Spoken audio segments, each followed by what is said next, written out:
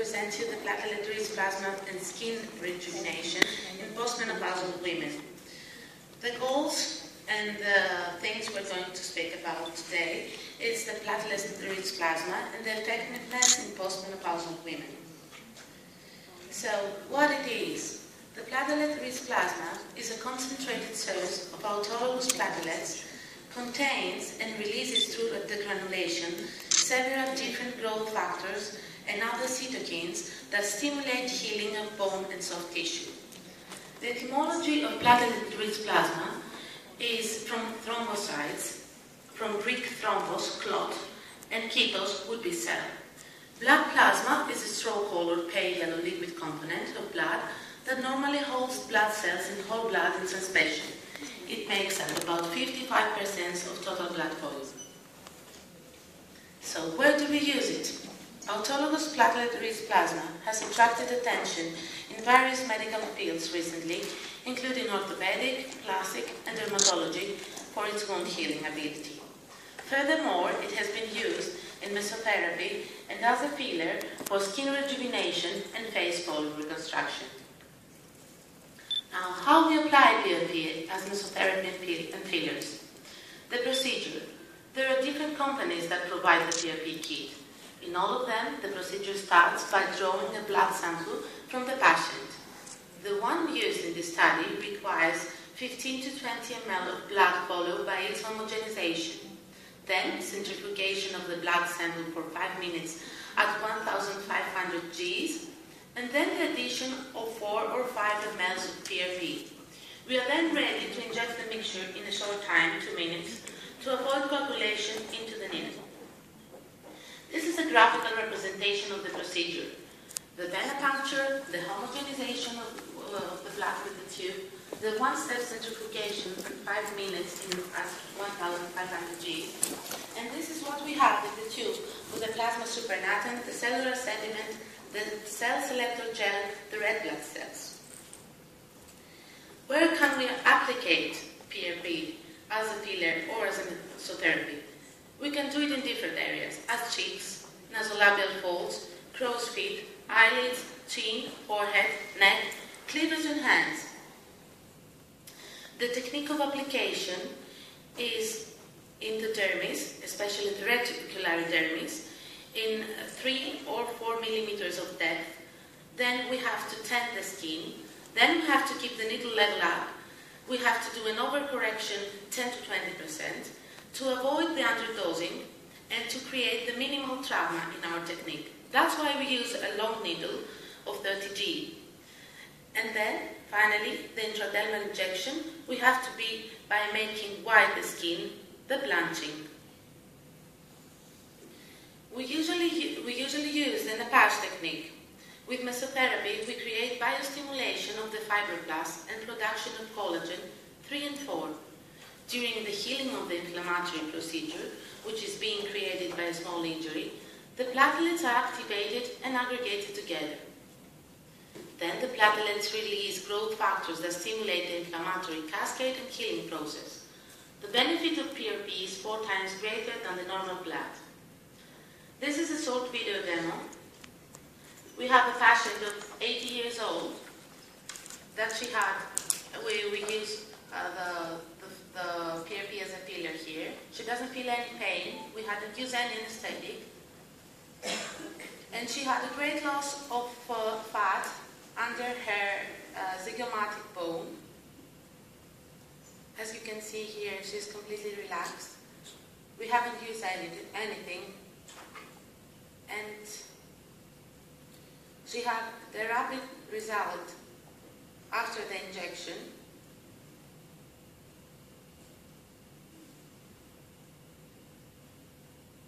This is how simple we can do the procedure. Now, the platelet deposition and adhesion, the platelet secretion, and the platelet aggregations schematically can be represented just like that. uh, the, how the platelets are creating the healing process when we create small injury rapidly. And now the second part of our speech what happens to hormones during menopause and what alterations can they create? Hormonal changes and declines, as well as the slowdown in ovarian activity, which includes a decrease in estradiol levels, cause many of the changes we see associated with menopause. The hormonal changes that occur during and after menopause tend to change the skin's physiology in new and different ways. We know that the decline of estradiol during menopause is one of the culprits in the accelerated aging of the skin. Estrogens stimulate fat deposits over the female body. As estrogen levels drop during menopause, fat deposits tend to become redistributed. The result is a loss of supportive fat below the skin of the face, neck, hands, and arms. This allows sagging wrinkles to appear, and the skin over these areas is less easily compressed as it loses its mobility. So we have, as a result, the elastosis, the thinning of the epidermis, and the skin becomes more prone to sun damage. Our case study, it concerns and, it is conducted in our private practice with 15 postmenopausal women underwent that they underwent under three sessions of platelet-rich plasma mesotherapy. Evaluations were done at base 1 every month after each treatment. All patients received 4 ml of PRP activated with calcium chloride as standard injection points on face and neck skin. For this study, before and after every session, we use a dermoscope and a digital camera each month to record empirical data. A full hormonal profile was also taken down for every patient. We had no extreme adverse effects, such as allergies, scar tissue formation, and calcification at the injection site, which can be possible. Small side effects, such as bruises and not long persistent pain, were faced successfully. In our applications, we did not use local anesthetic because rarely an adverse reaction to the agent may be triggered. Our results, the outcome assessments included subjective satisfaction scale, blinded clinical assessment, and the biophysical parameters of roughness, elasticity, and skin hydration. The follow-up of all our patients was evaluated initially monthly and then three months from their last session. This is a lady who didn't want at all to have any botulinum toxin or other fillers. This is before the procedure. You can see her neck and the lateral part. During the procedure, she has only a light redness. And one month after the procedure, you can see the big difference we have after only one injection of PRP in the distance of one month in the chin here, and the lateral part, part of her neck. Please conclude. Yes, that's the end. Mesotherapy treatment with PRP has great effectiveness on wrinkled and sagging skin, even if the groups of patients treated are postmenopausal women. The exact mechanism of its action has not been completely discovered yet. Maybe the healing procedure that is created by the small injury triggers the beneficial action of platelets by releasing cytokines. Cosmetic procedures that offer great results with relative low costs, a minimum factor of ablation and pain are always beneficial to the patient's psychology and quality of life. Thank you for your attention. Enjoy Greece.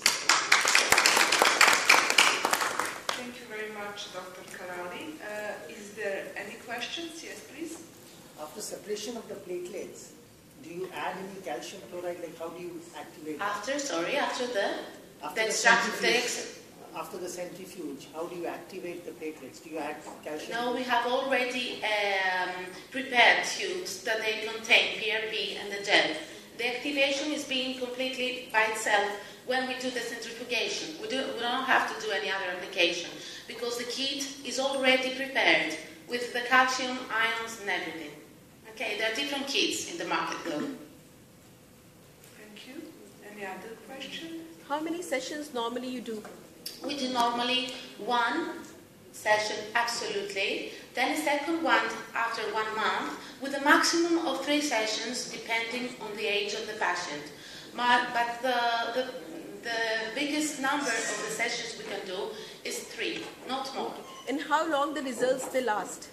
They last uh, one month. Uh, the, the, the, the, during um, in the time in advance, they say the researches that we have done till now that is two years, and then we have to repeat the procedure.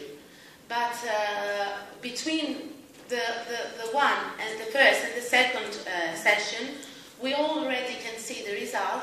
The same thing between the third, the second, and the third, but we usually do only two. We have follow-ups in two years, not more, unfortunately, because it's very new, the, the whole process, especially as mesotherapy. It, we used to, to do it in orthopedics, injections, and hair um, uh, before, but now as mesotherapy and as a filler is a new the is new the procedure, only for two years. Yes. Thank you very much. Thank you. Any more questions? Uh, I may ask, is uh, Dr. Uh, Marian from Iran here?